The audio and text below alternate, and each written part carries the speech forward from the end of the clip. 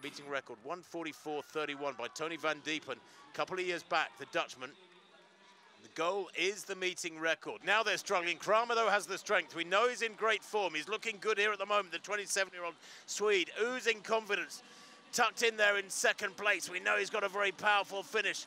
Gouaned, El Gouaned now leads off the bend, the Algerian. We know he's in fabulous form too. 144.4 this year. Kramer trying to come back at him, and I think he's going to get there. He just works harder and harder over the last 50. Keeps going. He never lets up, does Kramer. That's a big, big win. 144.1 by the Swede.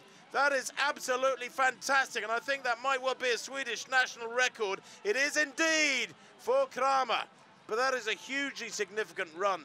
144.1. That puts him right up there in the top 10 in the world this year. Superb from him, 144.08, and yet another meeting record.